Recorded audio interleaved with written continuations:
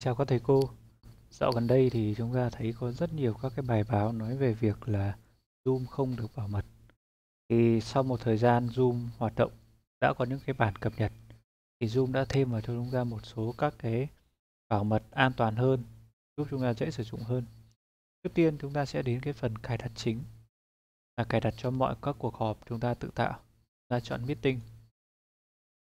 Sau đó chúng ta sẽ chọn edit ở trong giao diện này thì chúng ta sẽ nhìn thấy được thứ nhất là về cái ID của chúng ta. Thứ hai là password. Chúng ta hãy tích vào ô password và chúng ta hãy sử dụng password. Chúng ta hãy nhập một password. Nên sử dụng các số, nhưng mà chúng ta nên sử dụng các số đừng quá đơn giản.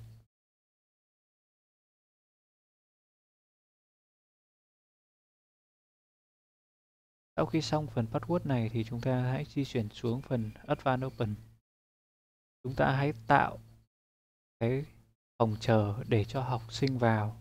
Ai muốn vào dự học thì sẽ phải qua xét duyệt của giáo viên trước, thì sẽ không có các cái thành phần bên ngoài không mong muốn để có thể vào trong phòng được. Và thứ hai chúng ta có thể chọn đó là tắt mic của những người vào phòng. Thì những người này sau khi vào phòng thì họ, trước tiên họ sẽ bị tắt mic để tránh cái trường hợp là những âm thanh không mong muốn và nếu chúng ta muốn ghi âm hình ảnh, quay lại hình ảnh thì chúng ta trong mọi buổi họp thì chúng ta hãy chọn cái automatic ở cuối cùng để nó tự động ghi lại các cái ờ, cuộc họp của chúng ta. Ở cái thứ tư này nó là chỉ những người nào đăng ký tài khoản Zoom thì mới sử dụng được. Cái này chúng ta có thể dùng hoặc không. Sau đó chúng ta hãy ấn lưu. Đây là bước thiết lập đầu tiên. Sau bước thiết lập này ở trong phòng khi chúng ta đang dạy thì chúng ta cũng nên cài thêm các bước bảo mật tiếp theo.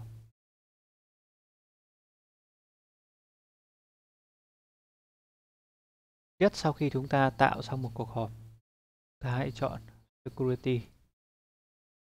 Thứ nhất là phần chat chúng ta có thể để hoặc không. Nếu những cái ô đang tích rồi, nghĩa là các ô này được phép sử dụng. Ví dụ, tôi muốn không cho học sinh chia sẻ nội dung của học sinh đưa lên để tránh các trường hợp nó sẽ đưa sẻ những cái không hay. Thì chúng ta hãy tắt cái này đi.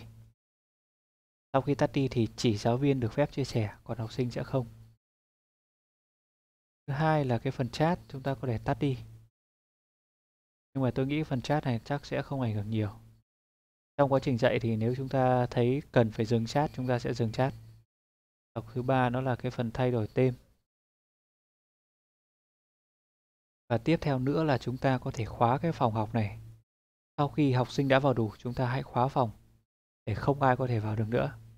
Thì nó sẽ không ảnh hưởng đến cái buổi học của chúng ta.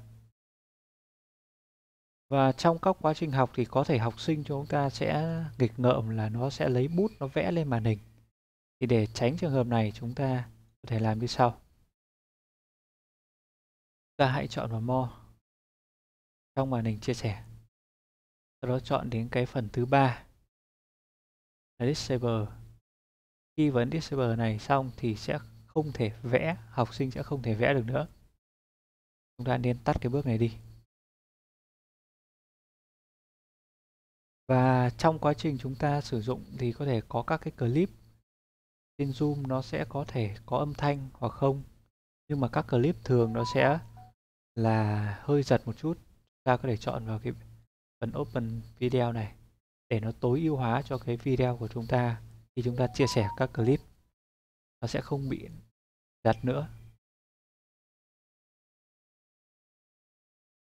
Và sau khi xong, chúng ta có thể kết thúc cuộc họp. Như vậy, trên đây tôi đã giới thiệu cho các thầy cô về cách để chúng ta tăng mức bảo mật cho Zoom để tránh các cái trường hợp bên ngoài. Và thứ nhất, cái thứ hai, chúng ta sẽ luôn luôn yêu cầu học sinh viết đúng tên để hiển thị. Nếu không đúng tên thì sẽ không cho học sinh vào. Như vậy sẽ tránh được trường hợp học sinh từ bên ngoài hoặc là những cái phần tử xấu có thể tham gia vào cuộc họp. Chúc các thầy cô thành công.